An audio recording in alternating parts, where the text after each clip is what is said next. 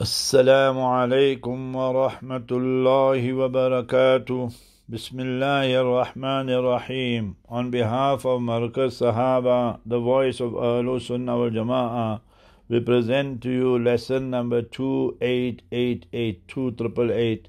And today, with the grace and mercy of Almighty Allah, Jalla we focus on the third of Rabi'ul Akhir. Again, an Nafi an Ibn Umar radiallahu anhuma, Abdullah ibn Umar states, Zahabat farasun lahu.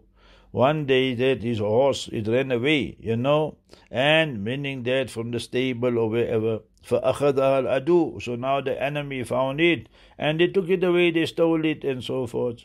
Then that same area and territory, فَظَهَرَ عَلَيْهِمُ الْمُسْلِمُونَ So the Muslims wage war there after some time, and the Muslims were victorious against them. فرد فرد عليه في زمن رسول الله صلى الله عليه وسلم so that the horse was returned to him to who Abdullah ibn Umar why because there were nishani there were signs there and everybody knew so he is a haq. He is more deserving of it than anybody else.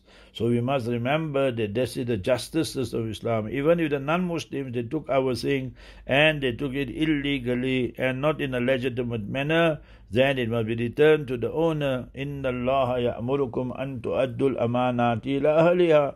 Allah Ta'ala commands you that you must return the amanat to the rightful owner. So in this case here, the rightful owner was him, Abdullah ibn Umar radiallahu anhu. So this happened during the time fi zamani Rasulullah sallallahu sallam, during the time of the Master alayhi salam. So that was what Habibuna Rasulullah sallallahu was setting, setting the precedent for humanity, for posterity, rahmatul alameen sallallahu a mercy to the entire universe and creation. Call. Then remember the Ravi says, wa abaka abdul lahu. So you must remember then what happened. One of his slaves ran away also. فَلَحِقَ بِرُوم And when he ran away, he joined the Romans, meaning the Christians, non-Muslims and so forth. فَظَهَرَ عَلَيْهِمُ الْمُسْلِمُونَ And subsequently, after some time and so forth, the Muslims beat them. So the Muslims gained the upper hand and prevailed over them. Then again, now they knew who the slave is. فَرَدَّ عَلَيْهِ فَرَدَّهُ عَلَيْهِ So remember that the slave was returned to Ibn Umar radiallahu anhu by who? Khalid ibn al-Walid. Khalid bin Walid radiallahu anhu is that general, is that soldier. He's buried there in Hims, there in, in, in Syria, and not far from him, I must remember of this. So Umar bin Abdul Aziz, who was a big Khalifa in the year 99 to 101, is a great Tabi'i. He's also buried there.